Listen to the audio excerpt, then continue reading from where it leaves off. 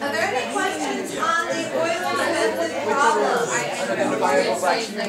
Any questions on Euler? Do y'all feel pretty comfortable with Euler?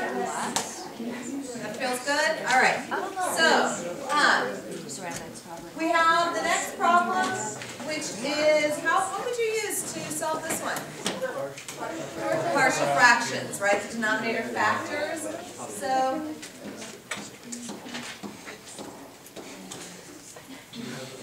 it's frozen. There we go. So hopefully you got something like this. Please make sure when you have a repeated linear that you're just putting constants on top, not x's, right? So you would have an a over x plus a b over x plus 1 plus a c over x plus 1 squared. Right? Right? And then be careful when you anti-differentiate this guy because he's already negative, so you get a positive when you're done. Any questions on this?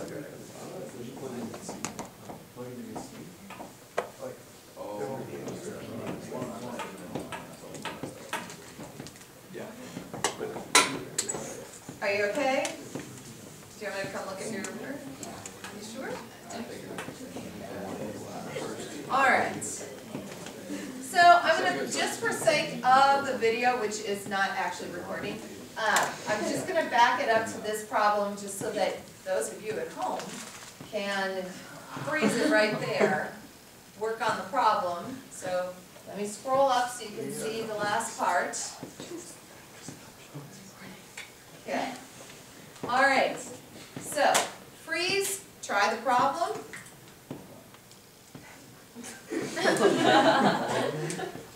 All right, and now I'm gonna take this away, you can check your answers. All right, so there's all the answers. We went over this yesterday, that's why we're not going over it now. Um, the, when, at what time is the population growing most rapidly is not on your test, but I'm just letting you know that that's asking for the max of the first derivative, the max rate, right? So really what we're talking about when we want a max of the first derivative is we find the second derivative, right? Set that equal to zero, and it really what it ends up being is your point of inflection. So, I don't know if you guys remember or not, but the point of inflection on a logistic curve, uh, the y value is just halfway between 0 and L, and the x value, there's a formula for it, and I'm being recorded, I think it's ln k over b. So, if I remember right. Go back and check it, make sure. Uh, All right, good, moving on. Okay, guys, so try a limit.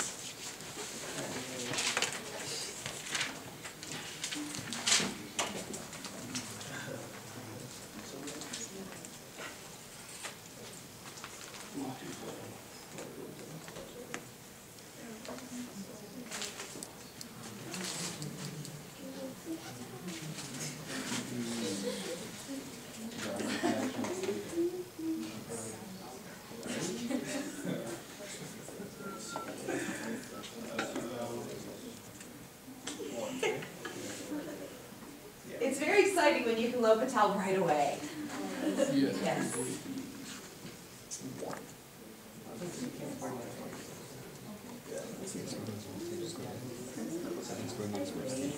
It'd be one, it'd be one minus one. Yeah.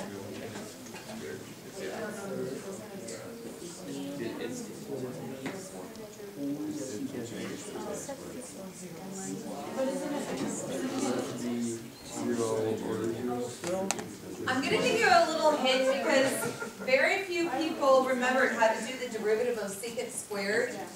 Um, Here's my advice that I used to give my students.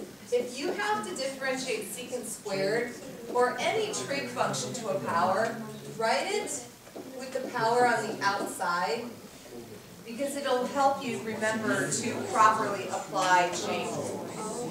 Right? It's a chain rule question. Yes, ma'am? Wouldn't it be easier to change it to one plus tan squared? Wait a minute, what? Be easier to change it to one? It'd just be tangents. Oh, okay. Yes. Wait, I never. Because you're the one of those big. first applied to the top, so you get tan, secant squared minus one. Oh, ah, okay, well then tan squared. Either way, it's the same process, right? Because you're still gonna have to do chain rule. So if you do tan squared, you're gonna have to do two times tan to the first times its derivative, which is secant squared. So you're gonna get the same thing either way. So we get one, one, then you get zero over there. Now you do. Oh, sure, sure, yeah.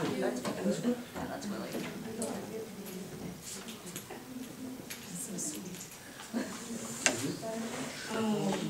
Secant squared.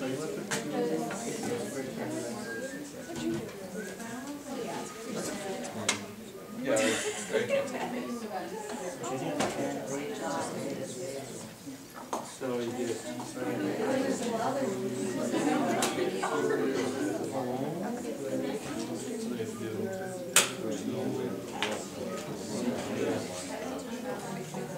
they have to do.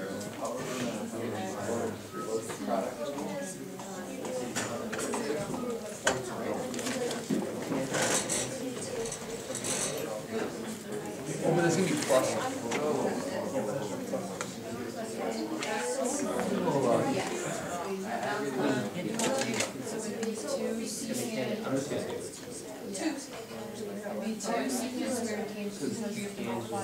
No, wait, no, no, it is. No, no. No, it won't, cause, cause, cause the derivative one third. Yeah, yeah, one third. One third? Right, so, so that's one and this is zero.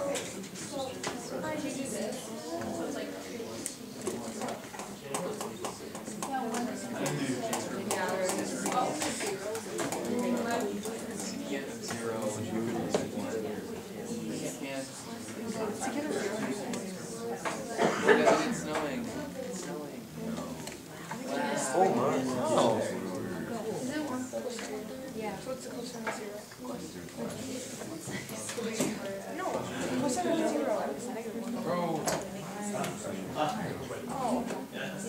Did you get the correct next derivative? No matter which way you went? Yeah.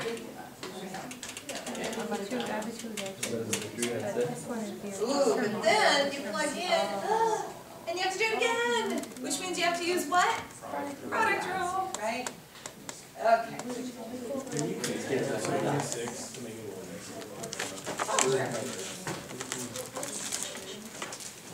You could actually pull the one-third in front of the limit and do it without any coefficient. Right? Uh, secant of zero is one, because cosine of zero is one and secant is just the reciprocal. Good, all right. This one's a fun one. Let's have some fun with some improper integrals.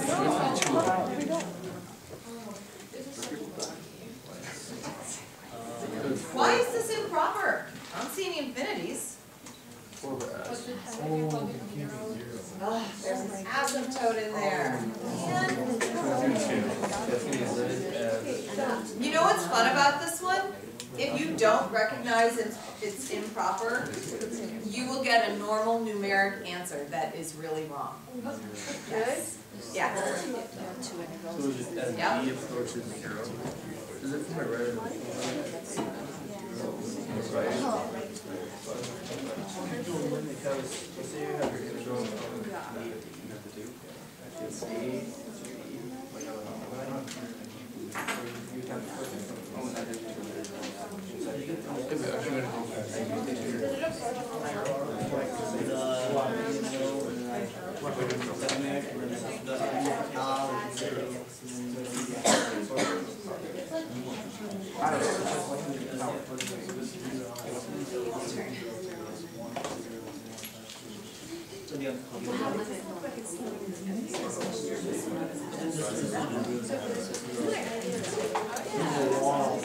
Different direction.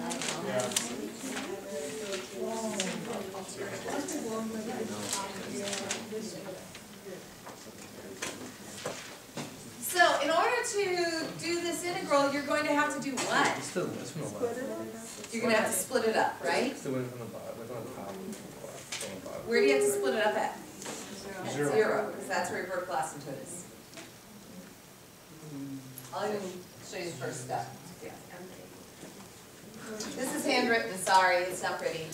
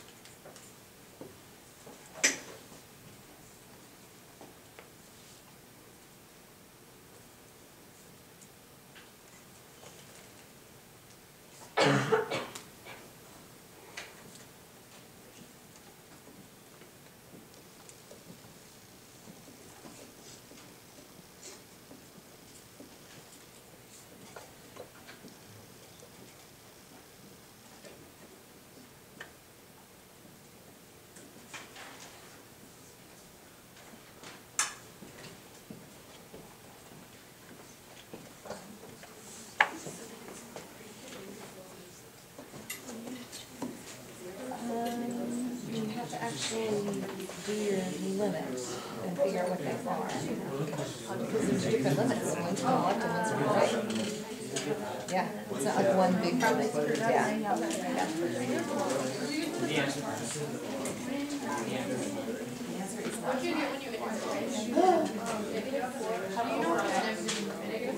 Uh-huh. Is it from the left or the right? Then it would be positive. You're very close, but actually like, in a one sense, you're extremely close, and in one sense, Wait, I have a So- question, how do you know? farther away. You're, Yeah. so, so say, let's say it was one over x, and then you're approaching it from the right, that'd be infinity. If it was one over x from the right, Uh, that'd no. be infinity like that. It's not. like this. But since it's It's not zero, negative, zero. and it's to the left, then it, so it was negative, and then it was pushing to the right, it'd be negative. Just like, if it, it says it's approaching zero, it's approaching like a negative twenty-four. Yeah, see, it's like, it's just hard. Like, yeah, negative twenty-four. Yeah, that makes sense.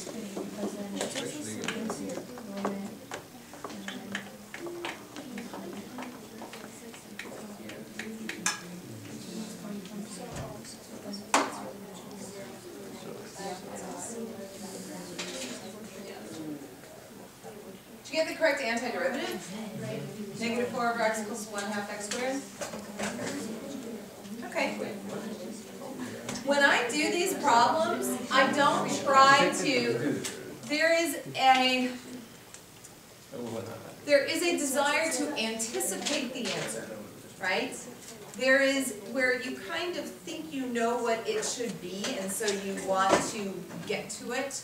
But really, your best approach is to be very methodical, do the math step by step, plug in the letters first, right? Do, do the antiderivative, then evaluate the definite integrals by plugging in the limits, then do the actual limits, once you've done all of that, right? So, I apologize that it's kind of messy, but, so I do the antiderivatives, right? Then plug in the limits, do your subtraction, right? And at the very end, that's when you actually find your limit. So, what is the answer? I'm gonna show you the answer and then we'll talk about it. The actual answer is infinity.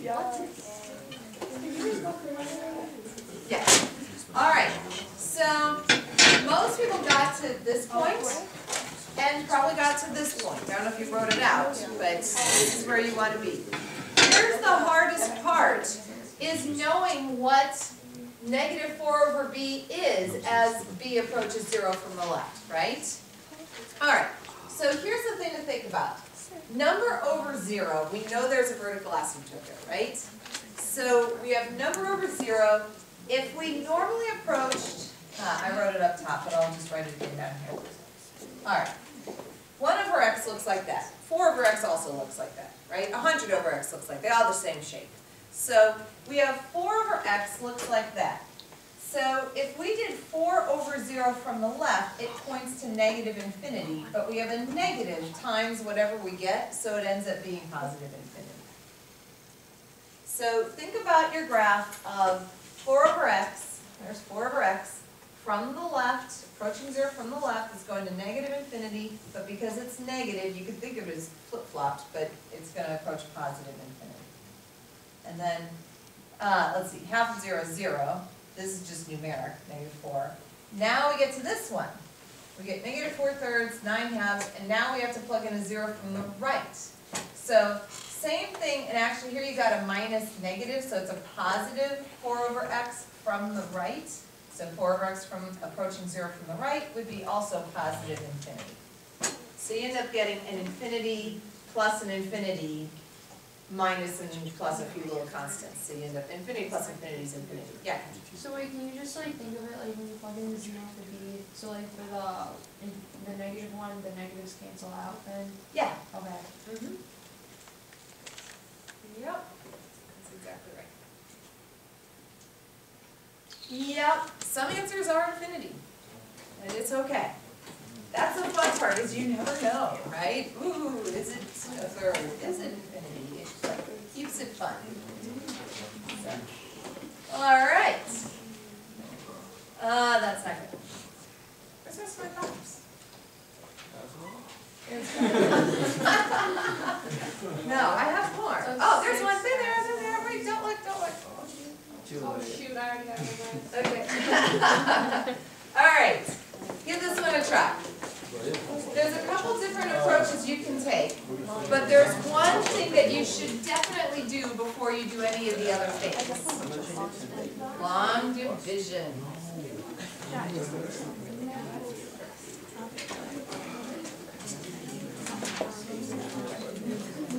Ah, negative plus a positive, then you're really be stuck, because it's an undetermined value.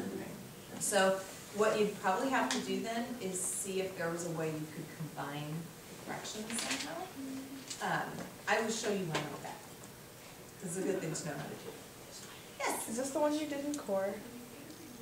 'Cause I don't think so, Okay. but you never know. I didn't get these from my course, but I haven't looked at my course slides in a while, so maybe I did pick the same problem. Yeah, it is. Oh, I'm sorry. That's good. I'll redo Do you want me to get a different one? No, you're good. Oh, oh this one?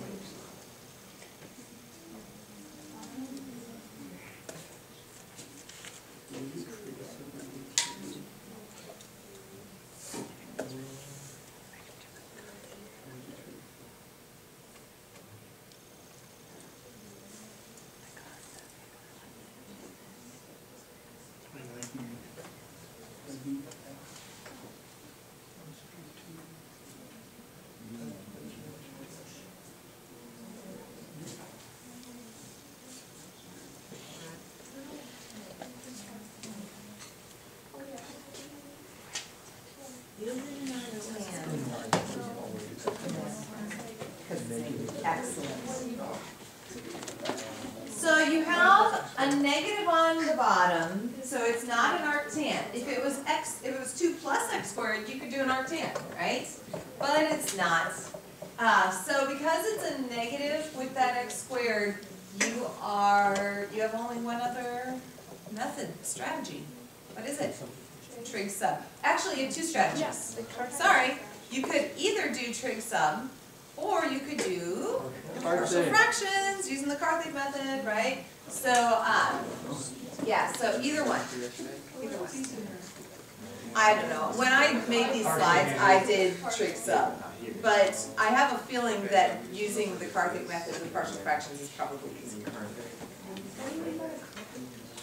Um, treating this as a difference of squares, thinking of it as root two plus x, root two minus x, and doing partial fractions.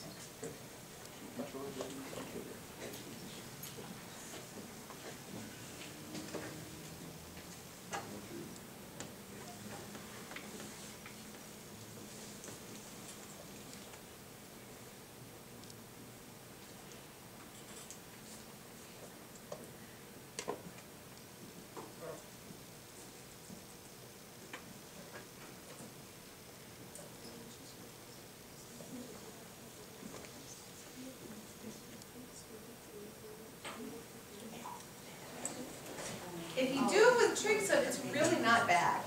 I mean, it's not a crazy one. It's not like, the one. Just remember, if you do do it with trig sub, you have to rewrite it as a square root squared, right? Because trig substitution requires a root.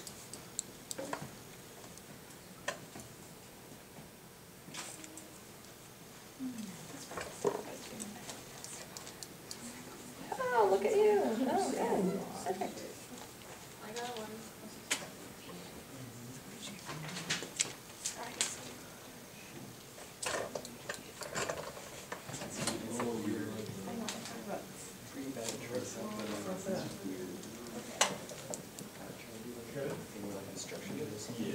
So my solution uses trig sub.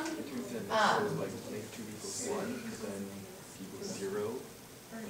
So I will show you the beginning part of my, that's how I set it up. But that's, if you're gonna do trig substitution, then you would have to do it that way with the square root squared. If you wanna do partial fractions, then obviously you would do it. That- That's how I did it.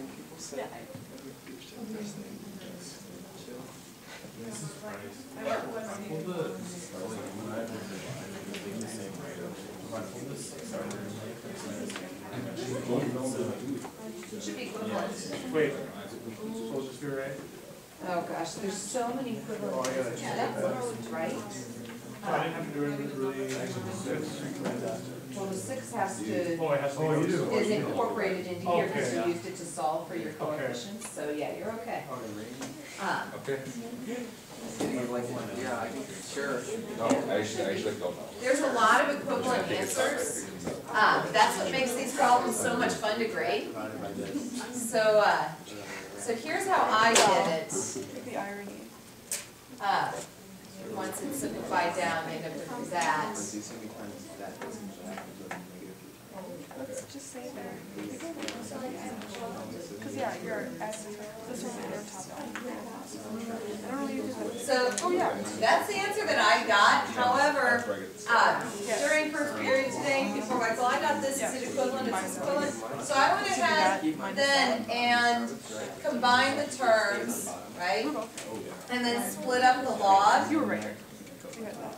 And even here, you could again rewrite this as a difference of squares, root two plus x, root two minus x, and then what would happen is you'd have some stuff that you could, Twenty dollars. you'd have a sum of logs, I'd hire two. and, oh, I bet you can combine some like terms and something drops out. Oh, no, you get, you can combine like terms and you get half. So, um, so here, I think I'm gonna get your answer if I do, if I keep going. That's what, uh, yeah. These are, That's okay. Minus three over root two. just knowing if you got the right answer, uh, is what makes these really fun. So we got negative three, root two over two times, this is the same as natural log of root two plus x plus the natural log of root two minus x, right? Because it's, you could split it up, remember when you multiply the arguments, you add the logs. So now, if I take this three root two natural log x plus root two minus three root two over two natural log x plus root two, then I end up with a plus three root two over two ln absolute x plus root two minus a three root two over two ln absolute uh, root two minus x plus c. So if you have something equivalent to that, right? And that's three over root two, right, basically. Three over root two is the same thing as three root two over two. Okay. Yes. Uh, Oh, sorry. No, first. um, if- when you did that stuff, did you have to long divide or, or could you just done it? You don't have to long divide for the trig stuff, but I found, I think it's a little bit easier if you do. It's just for partial fractions you have, they can't. For partial fractions, you definitely have to. Yes. Emily, what's yours? So is the last thing in the white, is that okay? Oh, yeah, yeah, that's what I got and I stopped. And then it was only because first period, there were forty-six different answers I'm like, well, let's see what it's equivalent to, right? And so we just kept going. Forty, no, just that was. I, it was an example, oh, that was a For a second, I thought hyperbole, that exaggeration you for actually have emphasis. There were not actually forty-six different answers. Okay, I just, I didn't think about it. Good. All right. Can you scroll up? Can I scroll up? Sure.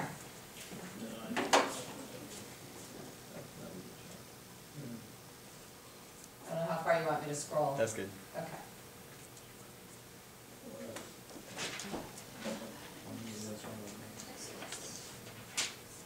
Is that good? Okay. All right, so yeah, lots of ways to do these problems, it makes it fun.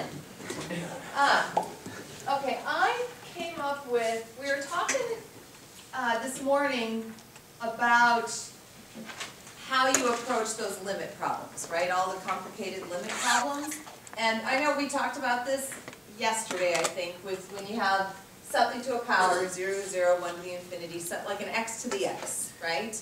And you're taking a limit, you set equal to y, take the natural log of both sides, so you can put the exponent out front. When you do that, then you usually end up with something like zero times infinity. When you have a zero times infinity, you want to rewrite it as a quotient, right? Even if you have to do it as one over one over something. Um, you want to get it as a quotient so that you can L'Hopital. But then the question came up with what happens if you have infinity minus infinity, right? What do you do if you have a limit of infinity, which did come up in, when we did that section, but we haven't talked about it much. So when you have infinity minus infinity, you want to combine the fractions. This is just kind of a review of what stuff equals. So we did a limit, so let's try this limit.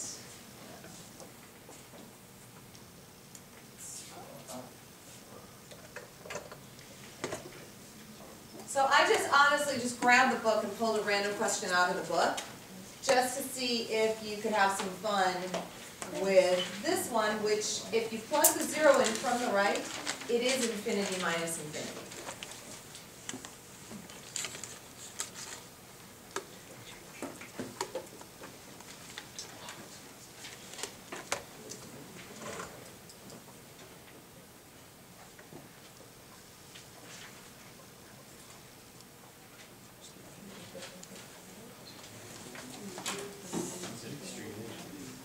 It's pretty quick.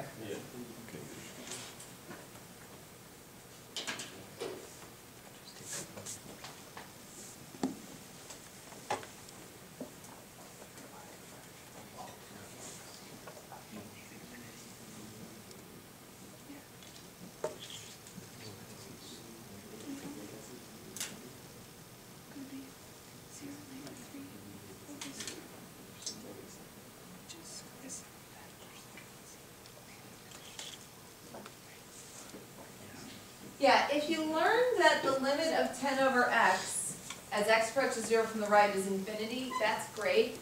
I, uh, I am a very visual, my brain works visually.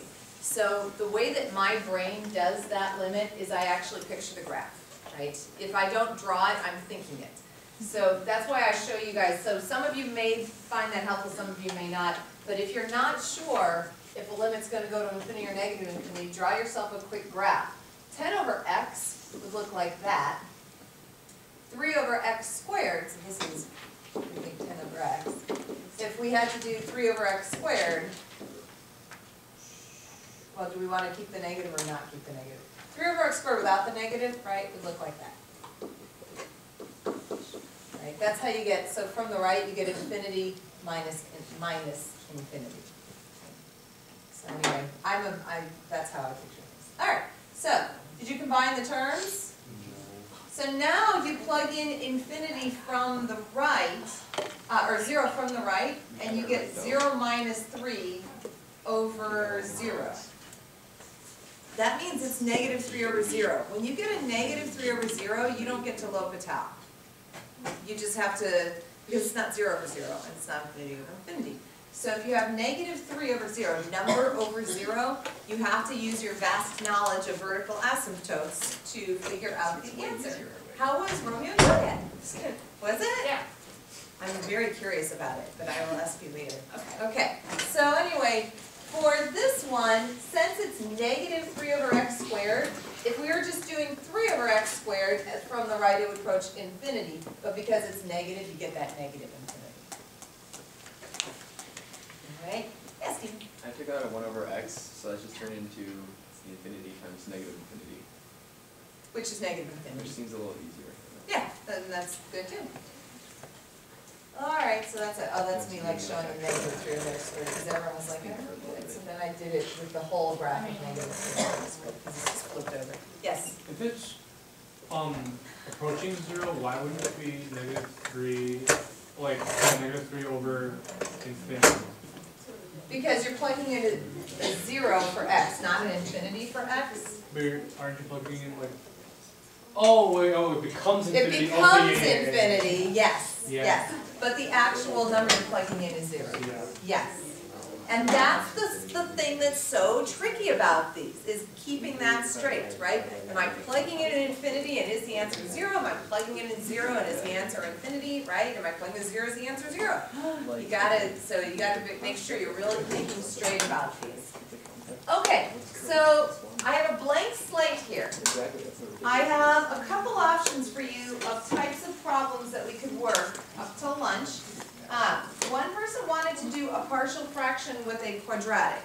Does that sound like an okay option? I got a, a big scrunch on that one. Um, Look at, I got two big nose wrinkles on that one. Um, okay, I'll tell you what, I will put up two problems. One partial fraction with a quadratic, and then those of you who did the nose scrunch, would you rather have an integral or a limit? Or an Euler's method or a logistic equation? Okay. Euler Oh goodness. All right, let's do a whole variety. All right, so. All right, so for our partial fraction example, I'm going to do, we'll make it tough. Is it okay a little bit tough? Yes. X cubed minus four x minus eight over, it's already kind of factored, not completely, but.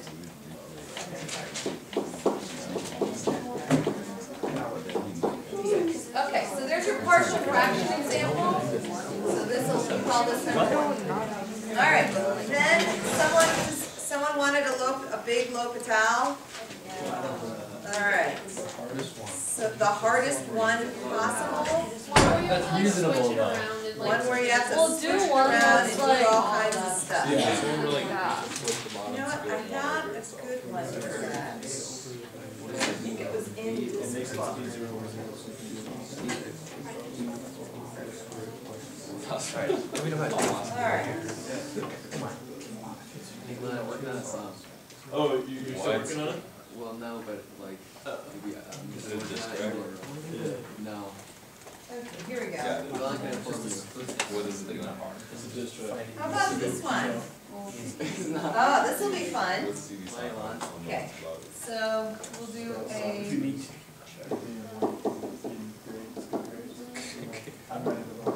so, L'Hopital, we'll do the limit See those, but. as x approaches zero from the right of uh, e to the x plus two x, all raised to the ten over x. That'll be fun. Okay, and then someone else wants a big ugly trig substitution problem. Is that correct? And Euler? So, oh, and someone wants another Euler? Yeah. Okay. Alright, so you just want the whole test? Oh, yeah. Yep. Okay. We should take home test.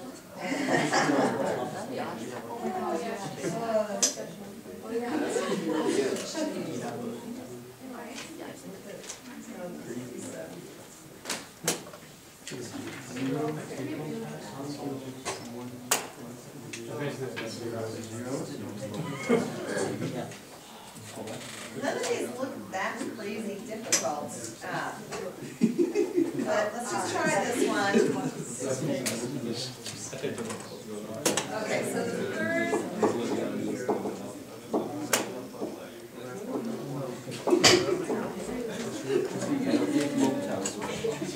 Alright,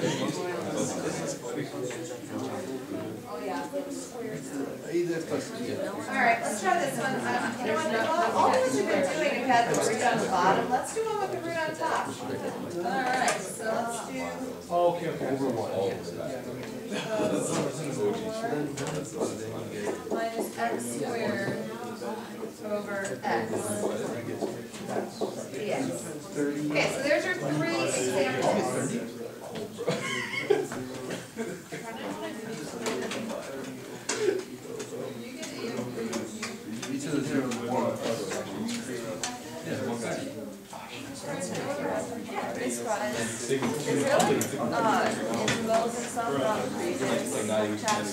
Yes. So like, Um, I should warn you, we have not done a, an integration by parts today, Yeah, but that is very much on your test. can you like give us an example? Um, you want a quick tab method kind of one? No, no, no. Are there, are there Not tabs tab. on the test? Not Or to. the- I don't know. Other kinds on the. Why don't we like. Are there ones that- Alright, I'll give you Are there, are two there like an easy access? integration by parts Well, examples, just like go back. just so that you can practice them. Do one tab. So let's do an IBP. So number four, we're gonna have the integral of natural log of, uh, is that gonna mess it up? I'm doing this, I'm writing this problem off the cuff, so if it doesn't work out well, don't get mad. Um, and then another IBP of, how about x squared sine three x dx. Watch, these are like the problems on the test. So, there you go. I, I'm truly, I'm hoping that this is, I'm not like giving the test away, because those really are just out of my head. Jake is taking pictures now. Alright.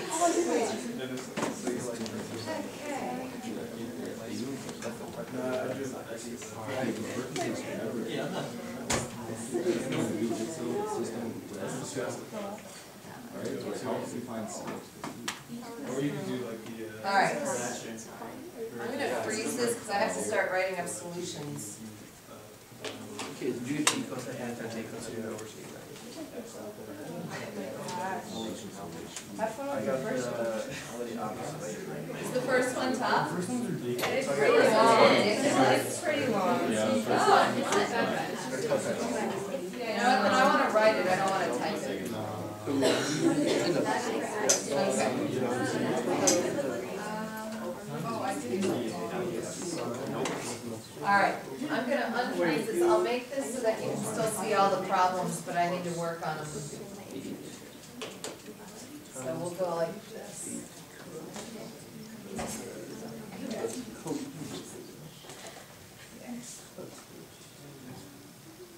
How do I, pretend the blue mark's not there, I'm trying to get that full screen thing.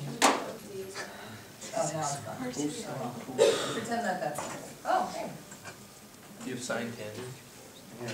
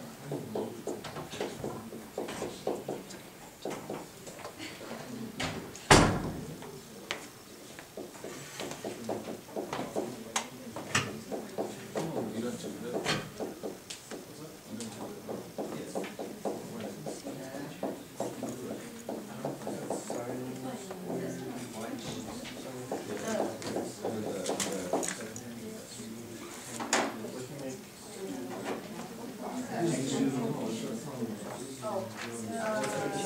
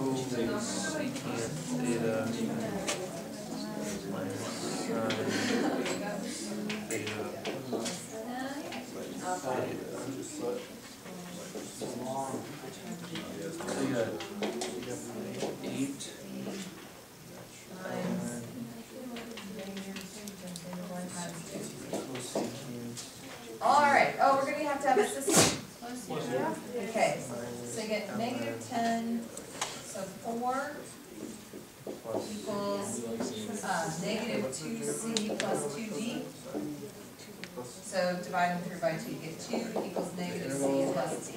I did that right. Okay, I'm gonna pick another number, let's do x equals two. So, huge, huge, it's moderate. Alright, so we plug it in a two, we get sixteen minus eight minus, oh, that's nice, it's zero. Okay. Equals one times eight times two, so sixteen.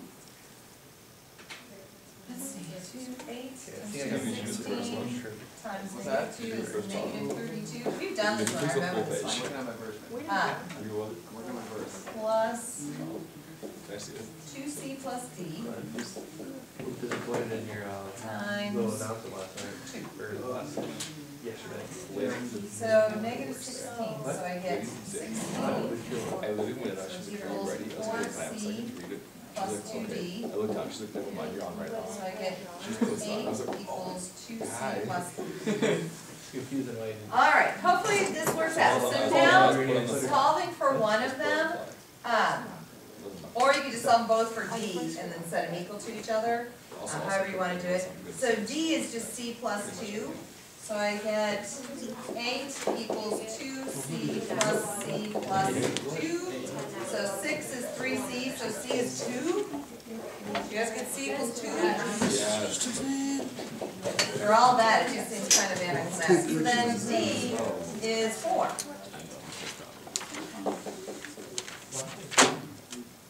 Is that okay? Yeah, that works. Yeah, because you had a quadratic, so you have to have a linear on top of your quadratic, cx plus d. Ah, changes the whole dynamic, doesn't it? Yeah, yeah. So it makes it really fun. Uh, so I am going to take this out of full screen mode because it's just, uh, it's too hard to work with a screen that's that skinny. So once you get here now, you can rewrite your integral. So we have the integral of, I don't know what it was, was A two? Yeah. Two over x? And then was b negative two? Minus two, was it x plus one or x minus one? Minus. X minus one? Plus, uh, two x plus four over, is it x squared plus one? Plus four, like that? Okay. Alright, so this is a really easy integral. This guy, you might have to break up a little bit, right? Um, so I actually would rewrite this like this. So you want a two x over your x squared plus four, and then plus a four over your x squared plus four. Because now it'll work out really nicely. This is two ln x minus two ln absolute x minus one. All right, this is a straight up guts d guts power rule, right? Okay, if I said it right. So, because the derivative of two x plus four, or x squared plus four is two x dx. So this is just a one over u du, right? So this is natural log x squared plus four, so plus ln absolute x, oh, you don't even need the absolute value, keep it off, it, it's fine. And then this one is what kind of a function? Arctan, right? Because x squared plus number. So you have four over two, so plus two arctan, uh, and then it's, uh, x over two. Let's see. Yay, that was number one. You're number one. Yes, Amy. Um, okay, on the test, are we gonna need to know any other things besides arc, tan? Like, are we gonna know like arcsecant or? You need to know arcsine and arctan. Arcsecant is something that you should know because it's required of all AP calculus What is students, arctan? but it doesn't come up very often. Arc sine is just one over the square root of one minus x squared. So when you have number minus x squared on, in a square root on the bottom, that's an arcsine. They need like a rhyme. Yeah. They need the rhyme. What, you don't know the song for that? I don't. You could write one. Right? Okay, all right, uh, it is time for lunch. While you guys are at lunch, I will work out the rest of these. So that, uh, we probably go over the rest of these and then, will I give you time lunch? Oh, yeah, absolutely. Because these don't, these aren't quick. Turn them off the camera though. So if you're watching the recording, the solutions to these will be on the smartboard notes.